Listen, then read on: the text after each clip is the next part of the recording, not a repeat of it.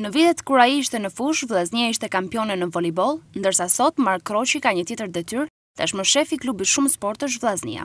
Jo vetëm puna, por tashmë edhe pasioni e tërheq për të ndjekur të gjitha ndeshjet e volejbollistëve shkodranë dhe kështu ndodhi edhe me sfidën ndaj Studentit. Loja ishte e mirë sipas tij, por ka disa gabime që duhen korrigjuar. Me emocione që unë kishe kohë që s'i kishe provu për hir të vërtetës.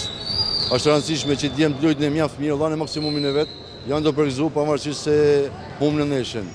Unë shpresoj dhe jam i bindun që në Kupën e Republikës që të zhvillohet në Shkodër, mbetet për t'u përcaktu data, ne do të dhurojmë rezultat edhe spektakl. Ba me lujt si sot, të motivum për fitore, duke mos u lëshu nga minuti i parë në pikën e fundit, Unë mendoj që Vllaznia do të fitojë Kupën e Republikës.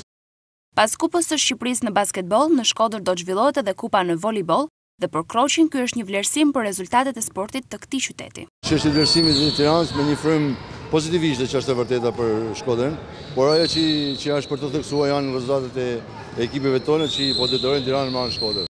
Datat se kur do të luhen ndeshjet e Kupës akoma nuk janë përcaktuar, Por me mbështetjen e tifozërisë shkodrane, Vllaznia do të ketë edhe më të lehtë të përballojë rivalët e Studentit dhe Tiranës.